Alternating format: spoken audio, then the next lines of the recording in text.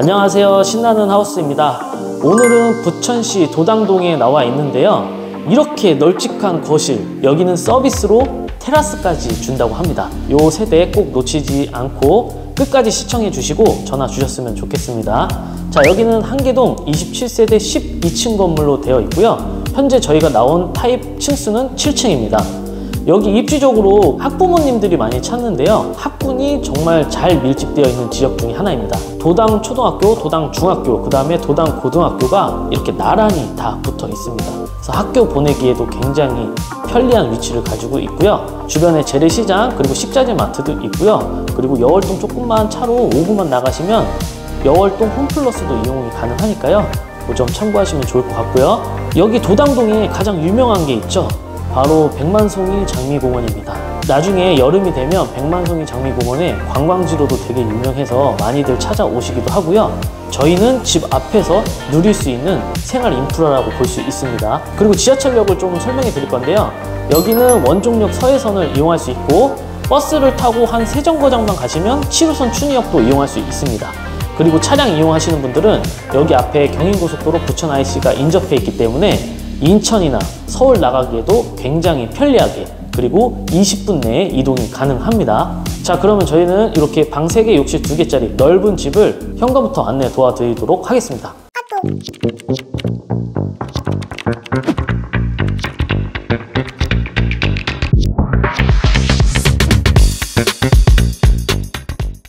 자 현관부터 안내해 드리겠습니다.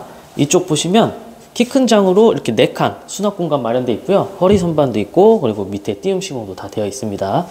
그리고 밑에는 타일로 다 시공되어 있고 이쪽 벽 쪽에는 일괄소등 스위치 그리고 이쪽에는 이렇게 3단 슬라이딩 중문까지 다 되어 있습니다. 저희는 거실부터 안내 도와드리겠습니다. 현관을 지나서 거실로 나와 봤고요. 거실 와. 보이시면 굉장히 넓기도 한데 뒤에 너무 뻥뷰라서 더 거실이 커 보이는 느낌이 들기도 해요. 와 뷰가 장난이 네. 아니네요. 장난 아니죠.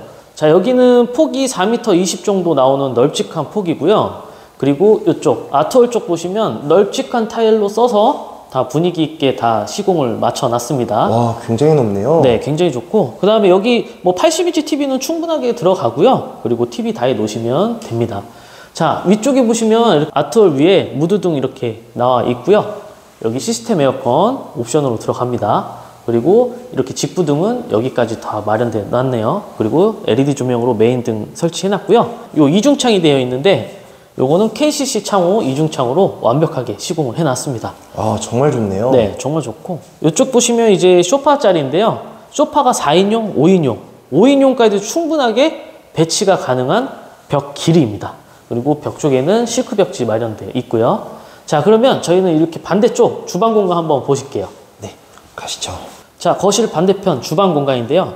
저는 이렇게 아일랜드 식탁에서 식사를 하는 것보다 이렇게 식탁 자리가 마련되어 있어서 식탁을 놓고 식탁 자리에서 식사하는 게 제일 좋은 것 같아요. 그래서 이쪽 공간이 널찍하니까 4인용 식탁은 충분하게 들어가고요. 여기 디귿자형 싱크대, 하부장, 상부장, 수납 공간은 넉넉하게 나와 있습니다. 어, 여기 조리, 넓게 나와 있네요. 네, 여기 조리 공간으로도 충분하고요. 뭐 커피 포트나 뭐 밥솥, 전자레인지 이런 거 다 두셔도 되는데 이쪽에 또 수납 공간이 다 각기 마련되어 있기 때문에 이 아래쪽을 이용하시면 되겠습니다. 어, 네. 그리고 싱크볼 나와 있고요. 그리고 여기 이렇게 가스, 가스렌지도 나와 있고 메린평 후드도 들어가 있습니다. 여기는 주방 창이 없는데요. 이쪽에 보시면 주방 창만큼 환기할 수 있는 공간이 따로 마련되어 있습니다. 자, 이쪽에 보시면 주방 베란다인가요? 주방 베란다는 아닌데 주방 다용도실이라고 보면 될 것 같고요. 그리고 테라스로 나갈 수 있는 이동 공간 이라고 보시면 되겠습니다. 이쪽으로 보시면 이렇게 뭐 수도나 전기는 나와 있진 않아요. 와 공간이 네, 굉장히 근데, 근데 넓게 나와 있어요. 네, 공간 여기 활용할 수 있게끔 이렇게 선반 수납 이렇게 짜가지고 수납하시면 알짜 배기로 쓸 수 있는 공간이 되겠습니다. 이쪽에 보시면 테라스가 있는데 한번 나가 볼게요. 네. 가보시죠. 자 여기 주방을 지나서 테라스가 위치하고 있는데요. 테라스가 진짜 굉장히 널찍합니다. 와 뷰도 엄청 좋네요. 어, 너무 좋죠. 뭐 채광도 그렇고 뷰도 그렇고 그리고 사용할 수 있는 공간이 널찍해서 뭐 바베큐라든지 아니면 뭐 김장할 때 여기서 다 같이 하셔도 되고요. 어. 그리고 아이들 놀 수 있는 뭐 풀장을 만들어 두셔도 되고요. 이번 다가올 여름철에는 이렇게 테라스 사용하시면 되게 좋을 것 같아요. 어, 옆에도 공간이 있나요? 네, 이쪽에도 오시면 공간이 굉장히 넓습니다. 와, 엄청 넓네요. 네, 엄청 넓어요. 그래서 이쪽에다가는 뭘 하기에는 조금 폭이 저- 좁으니까 뭐 잔짐 같은 거 비 맞아도 되는 것들을 이쪽에다 다 몰아 넣으셔도 될것 아, 같습니다. 위에 어닝 치고 커피 한 잔 마시기에도 굉장히 좋을 것 같아요. 맞아요. 이쪽에 어닝을 쳐가지고 비 안 맞고 뭐 커피 마셔도 될 것 같아요. 네, 이제 어디로 가나요? 자, 이제 테라스를 다 보셨으니까 이제 첫 번째 방, 안방을 한번 보실게요. 자, 안방이 굉장히 사이즈가 와. 넓어서 이쪽, 이쪽에다가는 딱 북박이 자리입니다. 11자 나오는 북박이 설치하시면 되고요. 이 반대쪽에는 침대 설치하시면 되고 시스템 에어컨도 들어가 있습니다. 화면에 안 보이죠, 지금? 네, 화면에는 안 보여. 아, 제가 잠깐 비춰놨는데요. 보이죠? 네. 이 바닥재는 강마루인데요. 거실이랑 다 강마루입니다. 요즘 트렌드가 이렇게 타일 형식으로 나온 강마루가 유행이기 때문에 이렇게 설치를 다 해놨고요. 이쪽에 보시면 약간 다용도 공간으로 쓸 수 있게끔 이렇게 베란다 형식으로 나와 어, 있습니다. 옆에 이거는 뭔가요? 요거는 이제 수납장입니다. 아, 안에 이제. 베란다에 수납장이 따로 들어가 있네요. 네. 굉장히 실용적이죠? 폭도 깊고 굉장히 넓습니다. 굉장히 넓어요. 네. 자 그리고 여기 나머지 공간 이쪽에다가는 세탁기는 설치는 못하지만 그래도 뭐 잡다한 물품들 놓을 수 있으니까요 이렇게 놓으시면 됩니다 안방을 보셨고요 이렇게 보시면 이렇게 화장실 가기 전에 화장대가 설치가 되어 있는데 어, 이것도 옵션으로 다 들어갑니다 여기다 의자만 놓으시면 화장대 이렇게 이용하시면 되겠고요 여기 부부 욕실인데 부부 욕실 굉장히 큽니다 와, 굉장히 넓네요. 어, 타일도 굉장히 저는 마음에 들어요. 약간 스톤 느낌의 타일이고 수전도 다 되어 있고 그 다음에 세면대, 변기, 젠다이 선반, 수납장까지 완벽하게 되어 있고 약간 실버색이라 유행도 안 탈 것 같아요. 어, 공간이 굉장히 잘 나와 있습니다. 네, 굉장히 괜찮습니다. 자, 그러면 저희는 이제 두 번째 방 한번 보실게요. 네. 자, 두 번째 방. 자, 두 번째 방도 공간이 굉장히 넉넉합니다. 거의 뭐 아홉 자, 열자 수준으로 나오는 널찍한 방이고요. 실크 벽지, 그리고 LED 조명, 강마루 시공을 똑같이 해놨습니다. 그리고 층고가 굉장히 높아요. 네, 여기가. 엄청 높아요. 보통 2m 30인데 여기는 2m 50까지 빼놨습니다. 그리고 여기가 진짜 이제 베란다라고 볼 수 있는데요. 베란다 폭이 진짜 넓어요. 와, 베란다 공간이 네, 거의 자그마한 방만할 수준 정도 되니까 여기다 워시타워 설치하시고도 이 기역자로 쓸 수 있는 공간이 굉장히 어, 네, 수납장. 놓기에도 굉장히 좋으실 것 같고요. 네, 굉장히 좋고 이 옆쪽 보시면 대피 공간인데 여기도 오. 굉장히 넓어요. 알짜배기 공간. 네, 진짜 알짜죠. 뭐 수도나 뭐 이렇게 전기는 다 빼놨습니다. 상황에 맞게끔 쓰시면 딱 좋을 것 같습니다. 자, 그러면 이제 세 번째 방 보실 건데요. 자, 현관 옆에 있고요.